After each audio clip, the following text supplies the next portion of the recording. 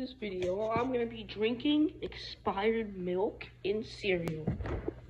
That is expired milk. Look. You see this? February 5. What's the date? February 6. Therefore, this milk is expired. I'm still gonna drink it. Watch this. You see that? Here. I put more expired milk. Look at that.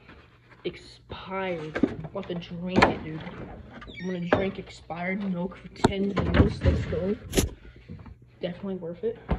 Definitely not gonna get poisoned for 10 views. Maximum 30. I guess I'll have to show my face in this, but alright. We have our expired milk cereal, of course. And now I'm gonna have to eat it. I cannot. I hope. Cereal, I've already eaten some, but. -hmm. Same bowl of cereal.